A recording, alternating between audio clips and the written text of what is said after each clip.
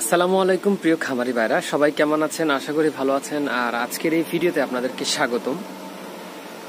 আজকে টপিক্স যে টপিক্সটি নিয়ে কথা বলব, আমরা সবসময় তো খামারের বিরুদ্ধেই কথা বলি। যে খামারের ব্যবসা ভালো না, এই সমস্যা, ওই সমস্যা, বাচ্চার দাম বৃদ্ধি, খাদ্যের দাম বৃদ্ধি। টোটালি অল ওভার নেগেটিভ সাইডটাই বেশি দেখি আমরা এই সেক্টরটাতে যারা আমরা এই বিষয়গুলো নিয়ে কথা বলে থাকি। তো আজকে একটু ভিন্ন টাইপের কথা বলব যে আপনি কেন খামারি হবেন? কেন আপনি খামারি হবেন? এটার একটু সুবিধা অসুবিধাগুলো একটু ছোট্ট করে আলোচনা করার চেষ্টা করব। আশা করি ভিডিওটা ইম্পর্ট্যান্ট হয়তো অনেক কিছু জানার আছে এই ভিডিও থেকে। তো আশা করি সম্পূর্ণ ভিডিওটা আপনারা দেখবেন। তো প্রিয় খামারি ভাইরা, আমরা যে সেক্টর নিয়ে অর্থাৎ এই সেক্টরের সাথে বর্তমানে বাংলাদেশের অনেক মানুষ জড়িত আছে, অর্থাৎ অনেক মানুষ। এটা তো আসলে অ্যাকচুয়ালি আমার কাছে বর্তমানে কোনো হিসাব নাই।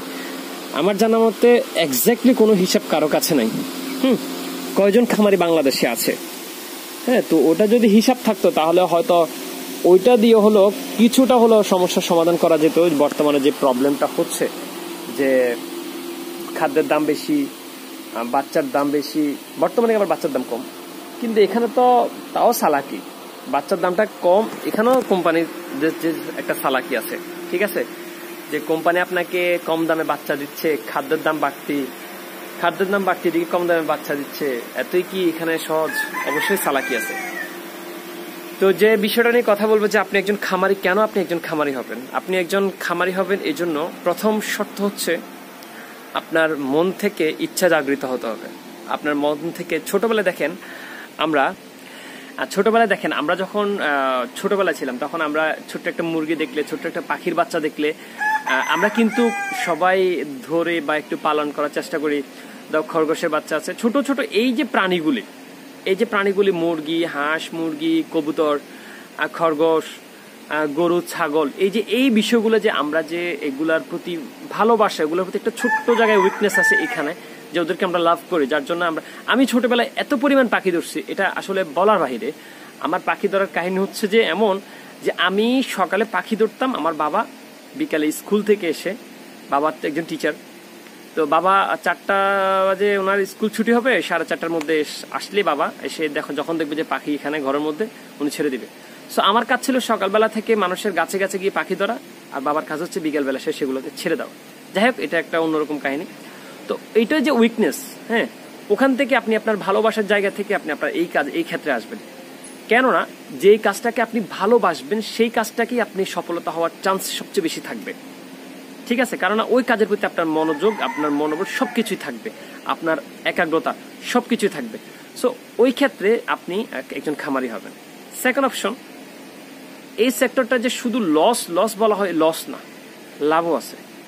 রাইট যদি শুধু লস হতো, বাংলাদেশে এত খামারি টিকে থাকতো না। এখনও হিউজ পরিমাণ খামারি আছে, দিন দিন জোর খামারি যেমন, এটা ঠিক, দিন দিন যত খামারি জুটছে, আবার নতুন করে নতুন করে উদ্যোক্তা তৈরি হচ্ছে। হ্যাঁ? একদমই যে ঝরে যাচ্ছে এমন না, ধরেন একশো থেকে কমতেছে কমতেছে কমতেছে কমতে একদম কমে যাচ্ছে। না, একশো থেকে যদি দশজন খামার বন্ধ করছে আরও নতুন করে দশ থেকে পনেরো জন যুবক আবার এই সেক্টরে আসছে। কারণ আমরা যারা ভিডিও করছি, আমাদের কমেন্ট বক্সে আর দেখলে দেখবেন অনেকেই ম্যাক্সিমাম যে, আমি নতুন করে আসতে চাচ্ছি, আমি নতুন উদ্যোক্তা, আমি কীভাবে পালন করব, কীভাবে শুরু করব, এভাবে করে আপনি যদি চেক করেন বা আপনি দেখেন, তাহলে কিন্তু এই সেক্টরে নতুন নতুন মানুষ কিন্তু আসছেই। একদমই যে ফেলে দিবে এমন না, এই সেক্টরে মানুষ আসছে নতুন করে। সো এই জন্য এই সেক্টরে লাভ আছে বলে আসছে। যাই হোক এতটা না, তবে মাঝে মধ্যে এত পরিমাণ লস হয় যেটা আসলে অন্যরকম বলার বাহিরে।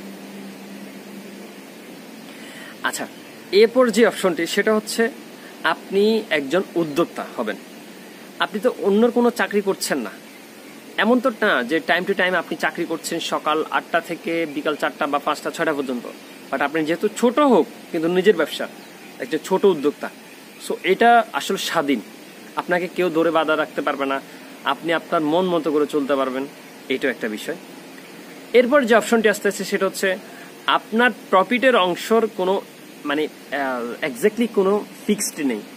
আপনি যদি অন্য জায়গায় জব করতেন, অন্য জায়গায় চাকরি করতেন, তাহলে সেক্ষেত্রে আপনার জবের পরিমাণ একটা স্যালারি থাকতো ফার্স্ট টাইম আট থেকে নয় হাজার টাকা বা সর্বোচ্চ দশ হাজার টাকা। কিন্তু এই সেক্টরে আসলে আপনি যদি আপনার কৌশলটাকে, আপনি জানার পর, আপনি যদি জানি কৌশলটা থেকে একটু ভালো করে কাজ করেন, আপনি অবশ্যই এর চেয়ে ভালো দ্বিগুণ স্যালারি উঠা নিতে পারবেন। এবং এখানে আপনি আর স্বাধীন মতো ব্যবসা করতে পারবেন, স্বাধীন মতো কাজ করতে পারবেন, কোনো টাইম টেবিল নাই। হ্যাঁ এই ক্ষেত্রে আপনি যদি বলেন যে আমার অফিসিয়ালি টাইম টেবিল নাই, আমিও আমার মন মতো করে যখন মুরগিকে খাবার, যখন মুরগি খাদ্য দিব, এরকম না, ওরকম না। ওটা বুঝাই নাই। বুঝাইছি যে আপনার কোনো বাধ্যবাধকতা নাই বাট আপনার যেহেতু ব্যবসা, আপনাকে এখানে মনোযোগ দিতেই হবে। হ্যাঁ সো এই যে বিষয়গুলো, আপনি একজন কেন খামারি হবেন? আমি কয়েকটা কারণ বলেছি। এছাড়াও আরও অনেক কারণ আছে। তারপরে আপনার অর্থনৈতিক সমস্যা হতে পারে, যার জন্য আপনি বিগ কোনো ব্যবসা করতে পারছেন না, কিন্তু ছোট আকার এই ব্যবসাটা চাইলে খুব সহজেই করা যায়। একটা চেক ডিলারকে জমা দিবেন, ব্যাস, ডিলার খাদ্য দিচ্ছে, বাচ্চা দিচ্ছে, ওষুধও দিচ্ছে। আপনার কোনো ইনভেস্টই লাগছে না। মাঝখানে আপনি যেটা তুলে নিয়ে আসছেন সেটা হচ্ছে আপনার পারিশ্রমিক হিসেবে কখনো, ধরেন লাভ হিসাবে দশ হাজার টাকা আনছেন সেটা আপনার পারিশ্রমিক। কখনো আপনি লাভ হিসাবে তিরিশ হাজার টাকা আনছেন সেটা আপনার পারিশ্রমিক। সো এই ক্ষেত্রে কিন্তু প্লাস পয়েন্ট আছে।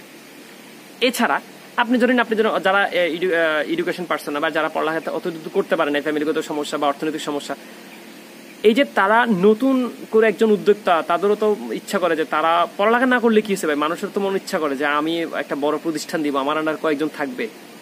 হয় না ভাই? হয়। সো তারাও চাইলে এই সেক্টরে খুব সহজে ইন করে এই জিনিসটা করতে পারে।